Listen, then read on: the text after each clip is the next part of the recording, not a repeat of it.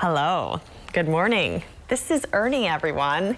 The Houston Zoo. This is our special guest. He's here with the Nick Larberg. Tomorrow's National Zoo Lovers Day. And if you're one of them, you've likely spent time at the Houston Zoo.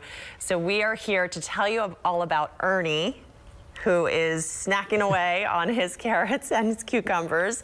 And yep. he's he's actually pretty smart. He, he knows some commands you were just showing us. He does. Um, so we use operant conditioning to work with our animals and it's positive reinforcement. Um, so Ernie, turn. Yay! Aw. I love it. Good boy. Good.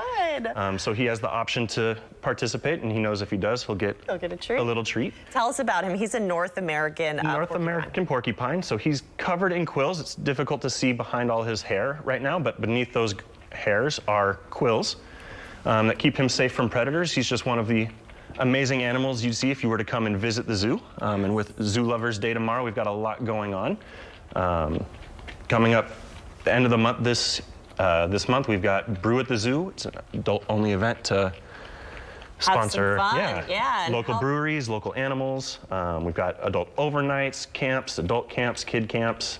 Um, a whole lot of things going on. And then there's also a poll right now USA Today is doing to vote for the best zoo in the nation. So we all know Houston Zoo is number one, right guys? So we need everybody to vote so the rest of the country knows we're number one. Right now, what is it? We're in 10th place. 10th place as of this USA morning. USA Today poll, right. So we need folks to get on there. You can vote once a day. Once a day, every day. Until April 22nd. So get on there and vote. Let folks know Houston Zoo is the best.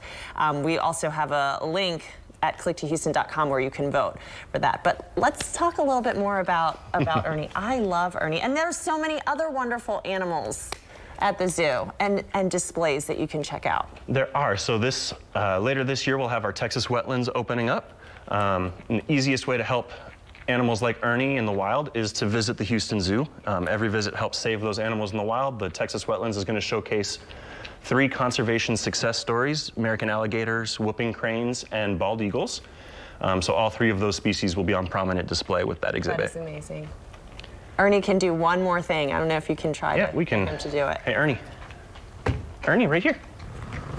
Can you wave? Good boy. Good job, Ernie. Oh, they're all so right. cute.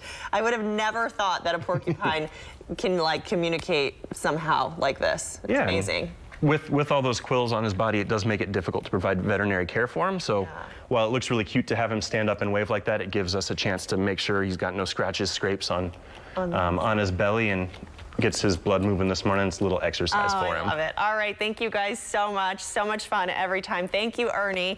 You can find all this info and a replay of this segment online at click2houston.com. Also, that link to vote every day, once a day, to make Houston number one across the country. We'll post it on the video tab on our homepage after the show.